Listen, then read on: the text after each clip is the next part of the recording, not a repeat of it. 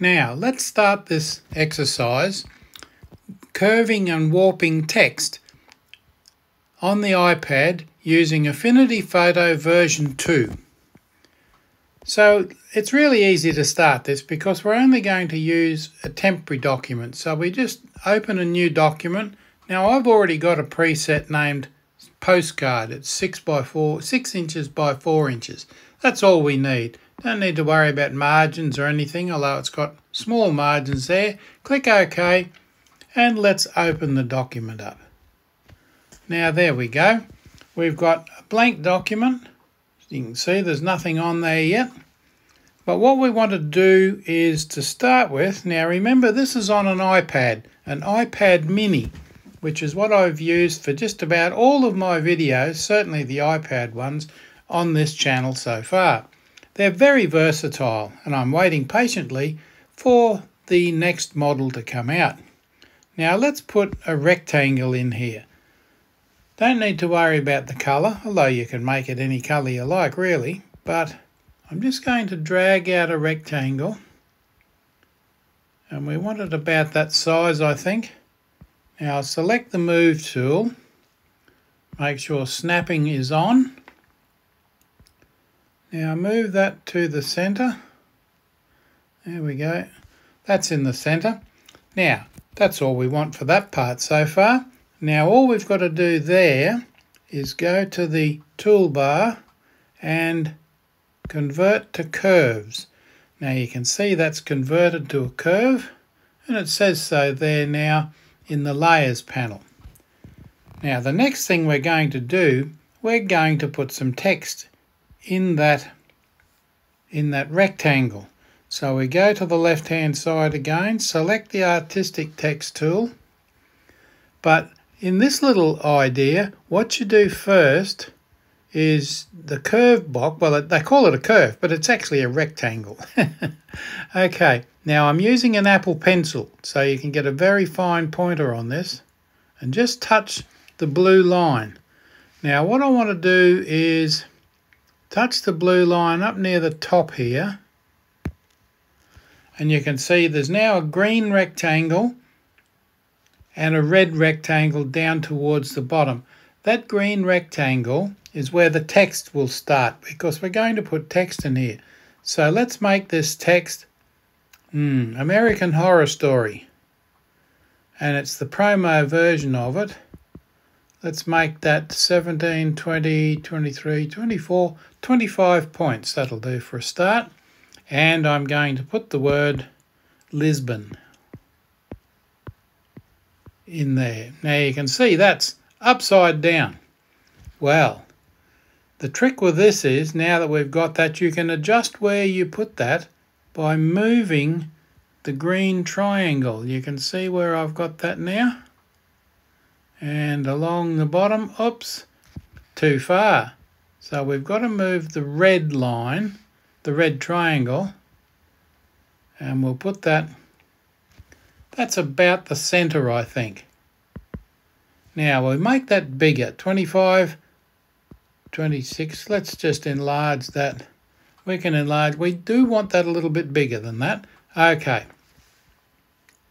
Now, let's just move that along a little bit. If you want to get really picky about this, then you can put some guidelines in there so you can find the centre. Now you can see it's sitting on the bottom line there. I'll use the move tool to make sure that's there, go up to the move tool and bring the box down. Now it sits right on the top of that text, which is not so bad, I guess. There we go. Now we've got the text centered. And that's a good place to start it. Now this is all curves, remember. The word Lisbon is in a, not a text box anymore, but it's in a curve. Now we want to move this, but don't touch the corner things. We want to put the bend in it. Select the node tool from on the side there, from the toolbar on the side, and very carefully, this is where it probably wouldn't hurt to have a guide in the middle so we can see where the exact center is. but you just take hold of the line and move, slide the line up. Now, being careful that you're on the same point, touch the bottom line and you can see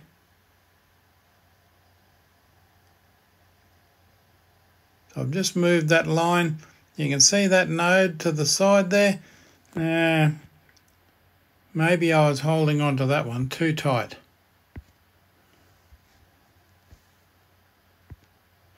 There we go. We don't want a node in that corner if we can help it. So don't press it too hard. You just lightly bring that up. And there it is. Now it hasn't put a node in there. Very light pressure to take that up.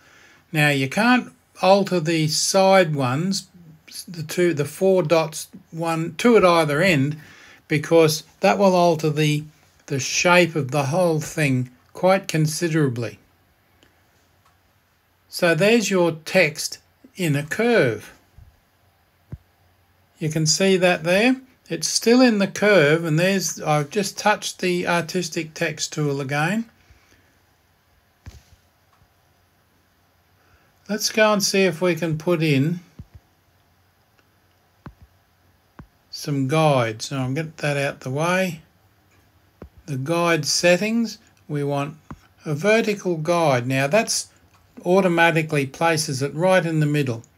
So L-I-S-B-O-N, it's not quite in the centre, is it? The word Lisbon. So now that our text, artistic text, oh. now we go, select that again, and that's got it. Now, don't touch the screen with your finger, Robert. Let's put the L-I-S-B-O-N. I'm just moving the little green triangle slightly so that the word Lisbon is much more centered there. Can you see that? L-I-S-B-O-N. Very difficult to get that exactly centered, isn't it?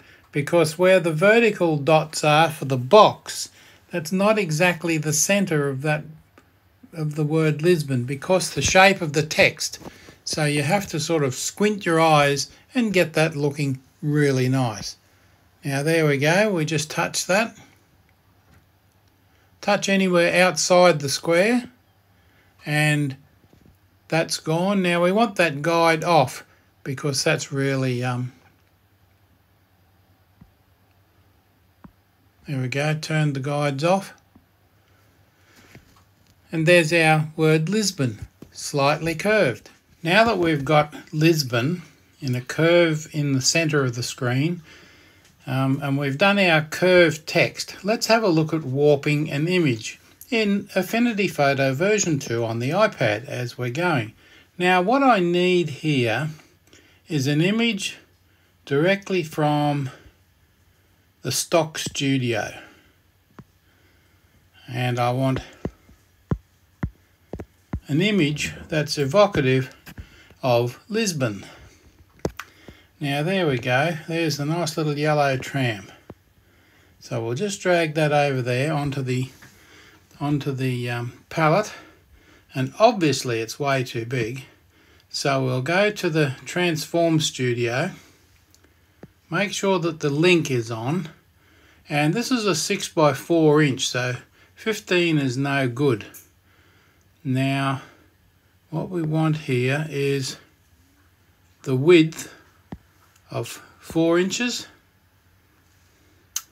No, you can see the anchor is in the wrong place, so the image goes off the screen. So I've backtracked on that, put the anchor in the center. Now we'll go to 4 inches, and there's our image there. Let's squeeze that in so we can see what we're doing. Now I want the height of 4 inches. That's the height of the palette that we've got there. That's much better. Now, I've got the move tool selected, so we'll move that over to one side. I'll put the snapping on so we can see the red and green borders. We know it's exactly on the side, but it's covering up Lisbon. Now, what we've got to do is go to the filters studio and we're going to add a live filter. Now a live filter is non-destructive. It means you can alter the image without actually without actually altering the image. If that makes sense. Now what we want here is the one here called Mesh Warp. That's just got the tram selected. So I gently touch the sidebar there and drag it in. And now you can see I've warped the image. The tram is still mm, not too bad, but the, the word Lisbon is now uncovered. Let's go right through that again, get rid of that altogether. There's the image selected, the move tool there. So we've got that image selected, the image is selected there. Now we go to filters We've got live filters set to on and we select mesh warp. And you can see there that it's a it's a child of of that.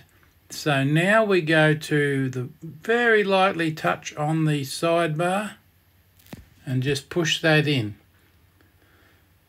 And that looks really good now. So let's collapse that layer. So we've got that layer. You can see how it hasn't actually affected the photo. It's just put a mask over it and that's that white layer.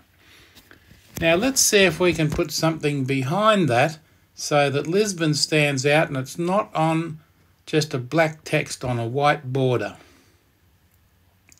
We could put an image behind that. Let's see if there's another decent image in there. Now we're still we've still got Lisbon. There's trams, there's a city. Now there's a a cityscape. Let's drag that one onto there. And again, we go to the Transform Studio. Make sure we've got that selected and it's 20 inches. The height, we only want 4 inches. And there it is there. Now you've got sailing boats and things there. We don't really want that, do we? So move that down. We've got the image there.